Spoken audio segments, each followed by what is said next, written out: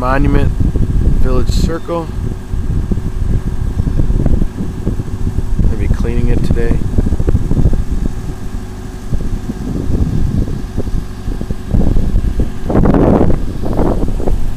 An idea how high we are.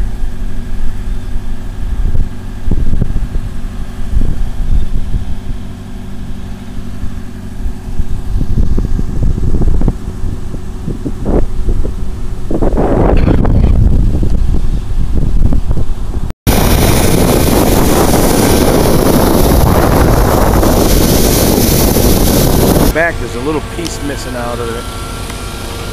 The back of the coat. Maybe a little bit the top of the collar there too, there's a piece missing. The rest of it's in good shape. I did this probably 10, 12 years ago.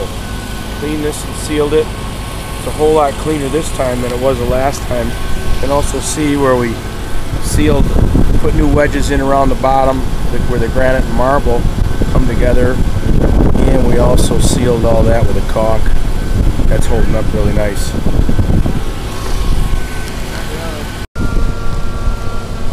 There!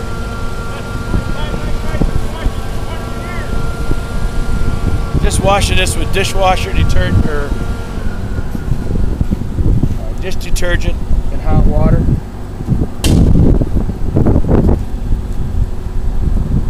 Here, Justin.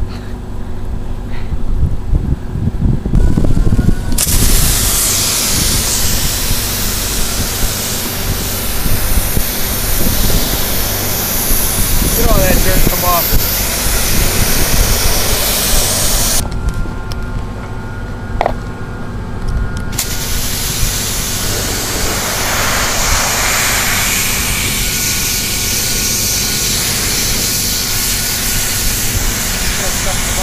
Mm-hmm. Look at that.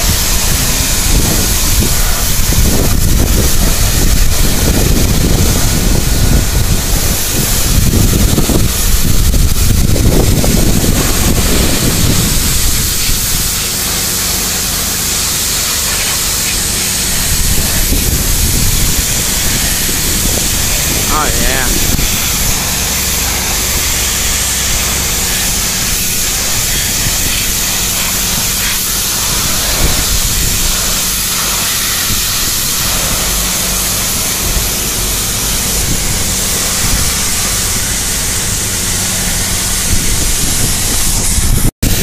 Picture that that. Yeah.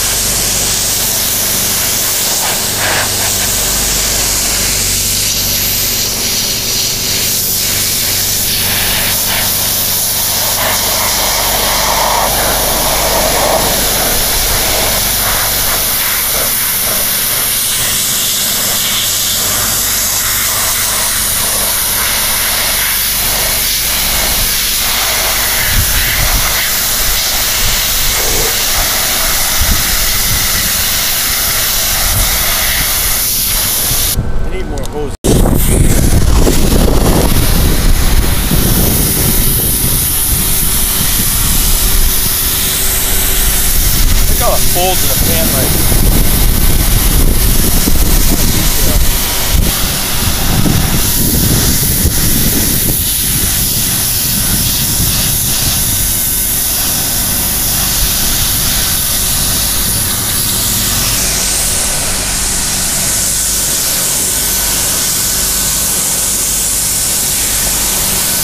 That coat's pretty cool. I wish I had one. Here's some repairs from before. I don't know when this was done. This was done when I was up here the last time 10 years ago. But, uh, apparently there was a crack down through there they repaired. Here's a few more. You can see one up on top on the coat. It's been repaired. I have no idea with what. But judging from the color and stuff, obviously not the right thing. But it's just really cool the, the detail here, all these buttons. 60 feet in the air, nobody ever gets to see this. Little log he's standing on behind him.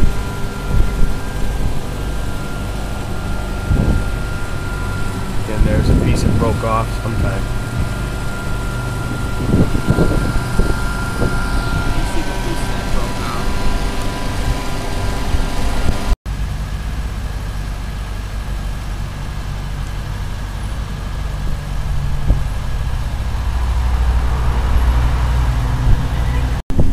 We're using a product today called Stone Spray and Seal.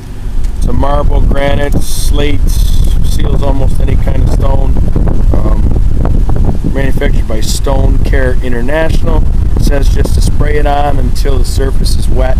It'll dry in three to five minutes and then spray another coat on top of that. So that's what we're going to do. We can get it on with the wind blowing.